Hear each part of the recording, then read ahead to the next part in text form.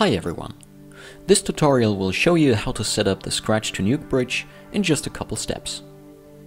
As of version 9.0, Scratch comes with an option to create a direct link between Scratch and the Foundry Nuke.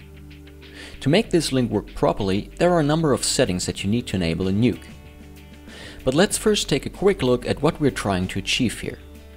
The setup is pretty simple. We have a timeline here and this shot in the middle of it, which needs further in-depth compositing. So we want to send it over to Nuke, preferably with a single click, like this. Now that we have the shot inside Nuke, we can apply some magic to it. Or rather action, like on this beach shot. And then we can render it and send it back to Scratch. Again with a single click, all automated.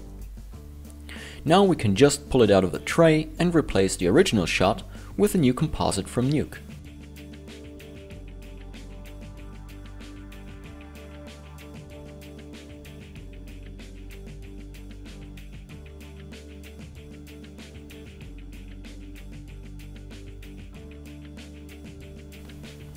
Now to set this all up, the first thing needed is Python.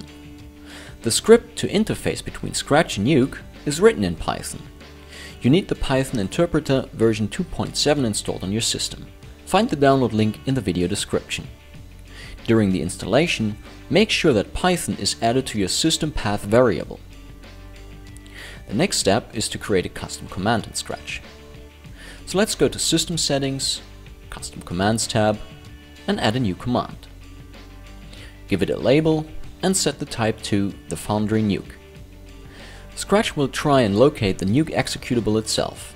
If it cannot detect it, you will need to set this manually using the Set button. In the title field, enter the label that you want to display on the custom command button inside Scratch. In addition, you can set options to minimize Scratch when clicking the custom command, to switch to Nuke, and to include the custom command in the right-click pop-up menu in the Scratch player. To round trip from Nuke back onto Scratch, Make sure that the watch folder is set up properly in the Generals tab of the system settings. Finally, let's set up the nuke part of our little Scratch to Nuke bridge. Therefore, you need to copy two script files to certain locations. You can find the init.py and the s2nuke underscore utils.py script files under this path on Windows and this path on OS X. Both need to be copied into the .nuke folder. You can find this folder under this path on Windows and this path on OS X. Please note that the .nuke folder might be a hidden folder. Now we have everything set up. When clicking the custom command button in Scratch, Nuke is launched and a pre-configured composite is loaded.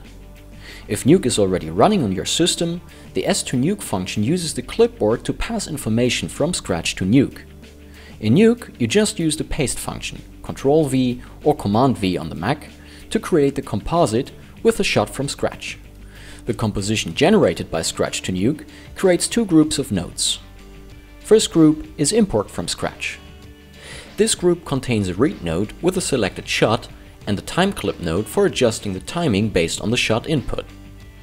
Tip: Be sure to set your timeline in Nuke to input and not global to get the good frame range of the shot. The second group is Export to Scratch. This group contains a metadata node with information on your Scratch project. Note that you can modify that information. And also a write node with the render path already set to your project media folder. The write node has a post-render script that writes an XML file into your Scratch watch folder. Scratch always monitors this watch folder and if an XML is there, process it. So when you render the node in Nuke, the resulting shot will automatically get loaded into the tray of your Scratch project, from where you can drag and drop it into your timeline or composite. That's it for showing how to set up the Scratch to Nuke bridge. If you have any questions or improvement suggestions, feel free to send them our way. Goodbye.